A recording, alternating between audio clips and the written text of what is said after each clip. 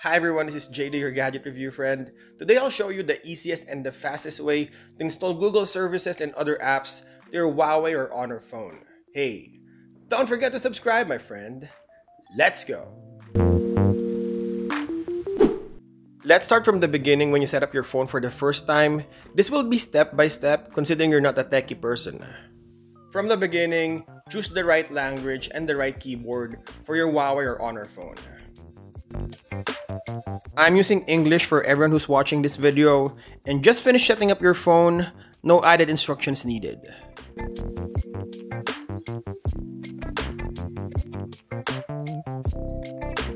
The second most important thing to do is to remove all the bloatware and clean up your phone.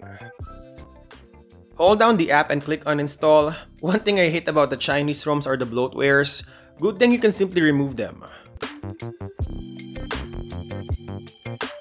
It will be a pain in the beginning, but once you remove them, you're all set. Okay, now we're ready to install Google services and apps. The next thing to do is to install a good browser. The Huawei and Honor browser is good, but it's full of Chinese character and the search will direct you to the Chinese server. Start with Firefox, install the first thing that comes out of search. It is proven secure.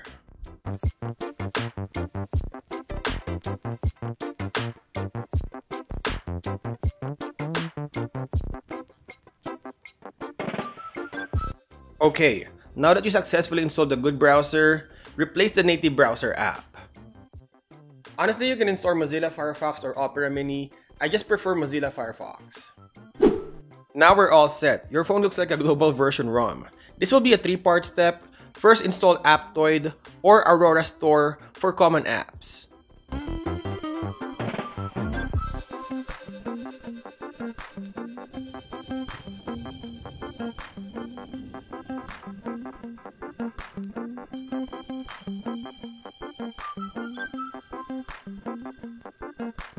So, Chinese ROMs are still Android OS and non-Google dependent apps that doesn't require Google services can easily be installed using Aptoide or Aurora Store.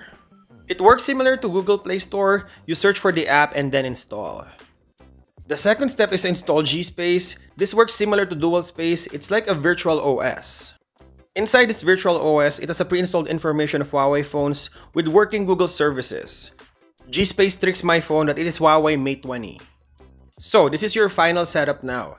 Let's begin installing Google Apps with services to your phone. First, open your G-Space and you will see Google Apps inside. If you click one of them, it will open Play Store. Again, this virtual environment is simulating Mate 20, so you can just log in with your Google account and proceed installing the apps. Just a side note, if you want to go back to Play Store, simply click any of the installed app and click Upgrade. That will bring you back to Play Store to install more Google apps. Now to make this a seamless approach, from GSpace, hold down the app again and click Create Shortcut. This will create a shortcut of the Google app to your home screen. So now you can access YouTube, Gmail, Maps, and other Google apps directly to your home screen like a regular Google app on Huawei or Honor phone. Once you finish installing all Google apps you need and create shortcut on your home screen, I suggest make a folder for Google on your home screen. Feels like a regular global ROM. Now if an app is not Google service dependent, open Aurora Store or Aptoide and install directly there. One, it is faster to manage these apps there and updating will be easier too. Let's try to install Twitter, Facebook, and WhatsApp.